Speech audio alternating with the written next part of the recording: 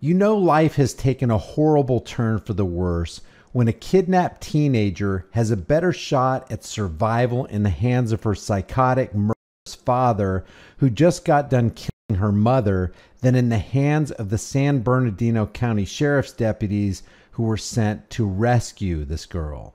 Apparently, in a wholehearted effort to hide what really happened over a year and a half ago, those in charge of the San Bernardino County Sheriff's Department withheld law enforcement footage of the moment a gang of California Thin Blue Line members fatally shot and killed an unarmed 15 year old girl.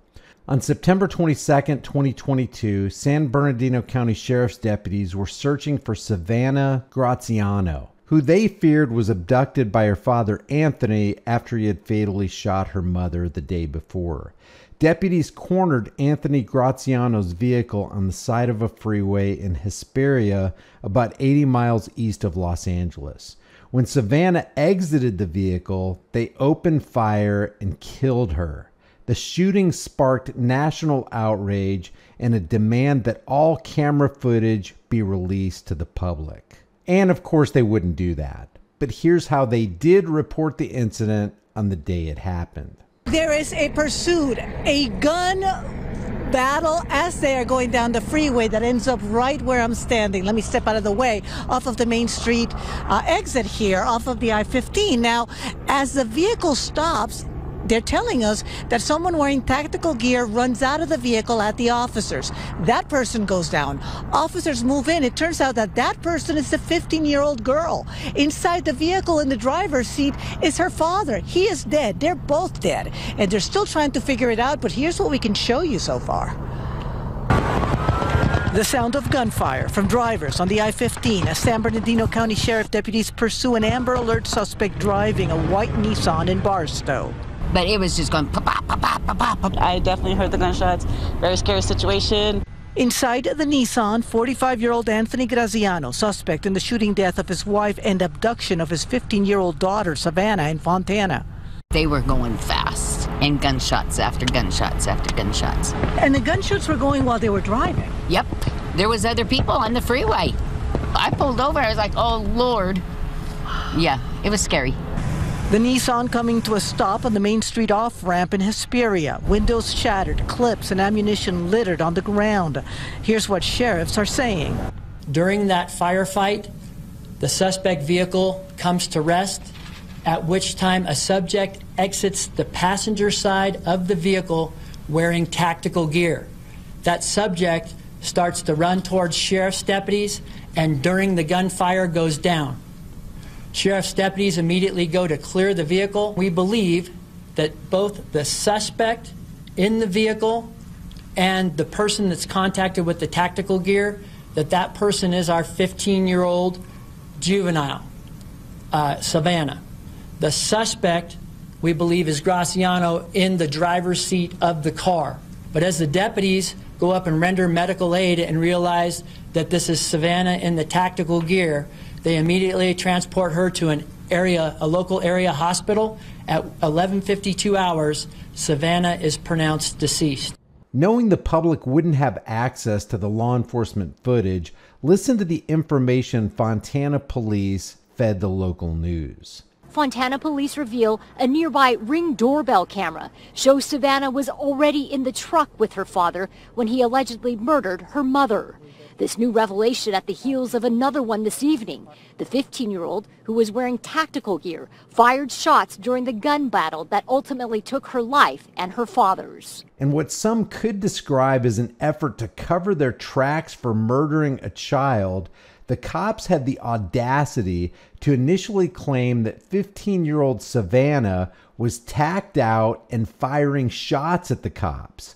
Listen to Sheriff Shannon Dicus. Based on the information, evidence suggests that Savannah Graziano was a participant in shooting at our deputies. Now, the way his lawyers crafted that script, now the way his lawyers crafted that script gives him and the department plenty of plausible deniability breathing room. But there doesn't appear to be the slightest bit of evidence to suggest anything like what the sheriff actually said. As you can see here, Savannah steps out of the passenger side of the vehicle with what appears to be a helmet on her head. She takes a couple of steps, crouches down amidst gunfire and plumes of dust on the ground, and she takes five or six steps toward the cop who's encouraging her to proceed and is then gunned down.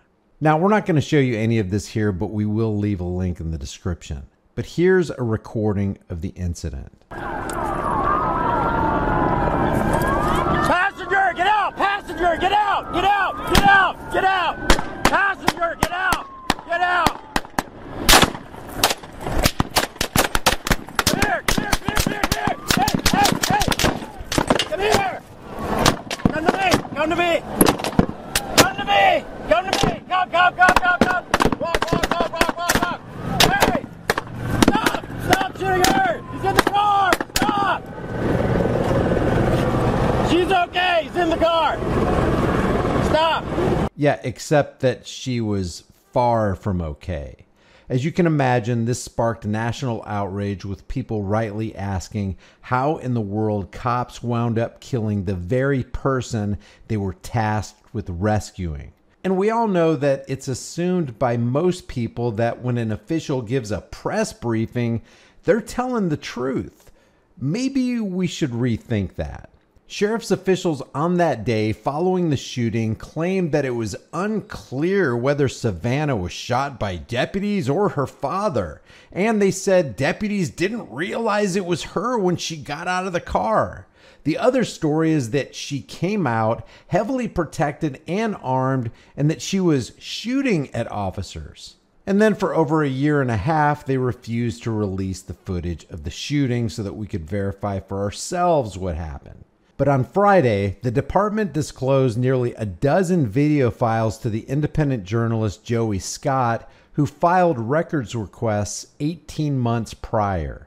The clips, contrary to initial police and news reports, show deputies shooting at Savannah as she followed their instructions to move toward them.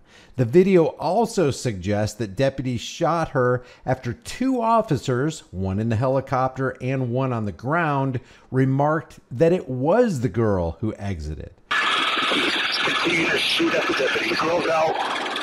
All right, girls out, guys. Female Julie is out. She's out on the passenger side. Does anyone else have eyes in the vehicle to see if we have any other passengers? Oh, no. The footage and the sheriff's narration of the video further make clear that she was killed by deputies and not her father. So everything the cops told the news was a lie.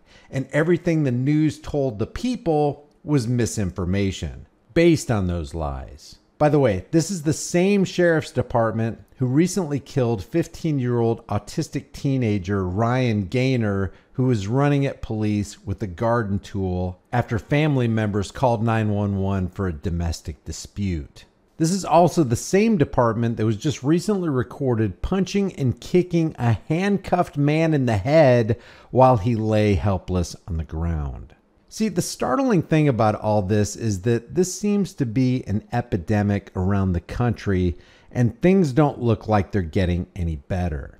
As bad as being kidnapped is, and as bad as domestic violence and other crimes and other emergency situations are, the only thing that can make a situation even more dangerous, and it's sad to say this, is the addition of law enforcement. Leave your thoughts about this for the world and the global thought police in the comment section below. If you haven't done so already, subscribe to the channel, hit the bell notification icon, give it a thumbs up, share it with everybody you know. Don't forget to subscribe to my email list through my website, highimpactflix.com.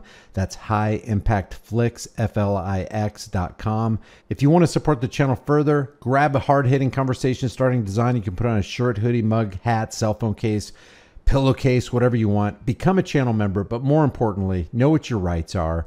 Always record the police and always stand for your rights. If you don't exercise your rights, you will lose them. I'll see you in the next video.